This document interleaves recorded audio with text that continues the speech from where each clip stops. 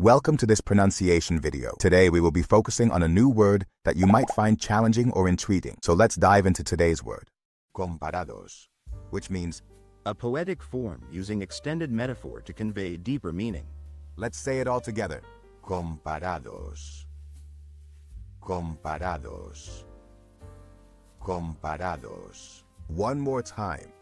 Comparados. Comparados. Comparados.